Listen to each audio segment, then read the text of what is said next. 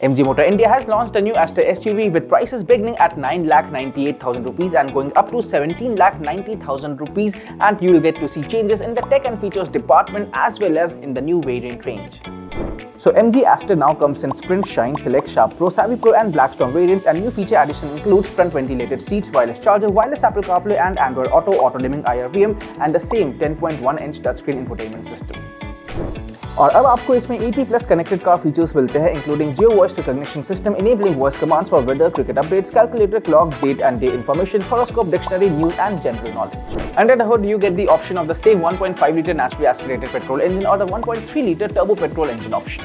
So what do you think of this new update? Let us know in the comments below and keep following ParkPlace place for all the updates in the indian car bazaar.